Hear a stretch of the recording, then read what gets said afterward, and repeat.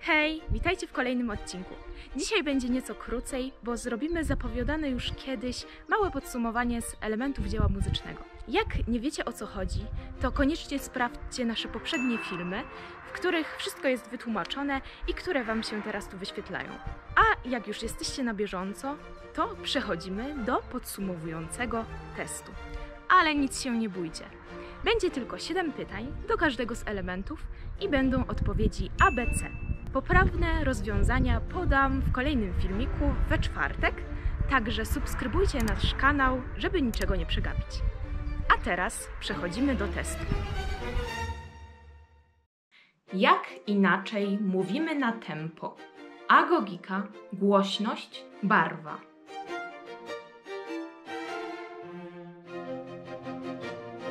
Z jakim elementem dzieła muzycznego związane są określenia forte i piano, melodyka, dynamika, rytmika?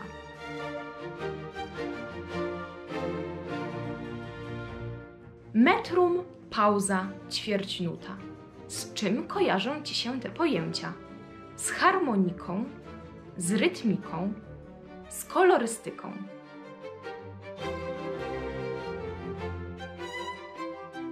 Wokalna i instrumentalna może być artykulacja, dynamika, melodyka.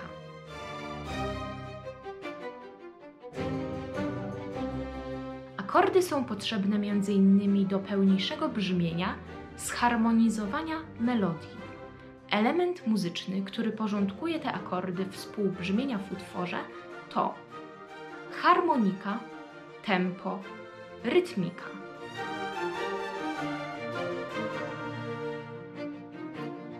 Można grać m.in. legato, czyli łącząc dźwięki, lub staccato, odrywając dźwięki.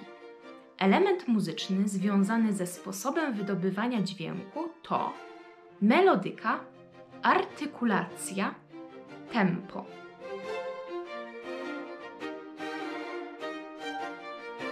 Element dzieła muzycznego, który określa barwę dźwięku, to dynamika, artykulacja, kolorystyka.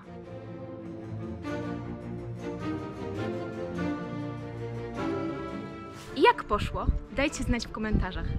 Poprawne odpowiedzi, tak jak mówiłam, pojawią się w kolejnym odcinku, a już teraz zapraszam Was na nasze social media. Tam jest nas więcej. Zachęcam do zostawiania łapek w górę oraz subskrypcji. A ja się z Wami żegnam i do zobaczenia w następnym filmie.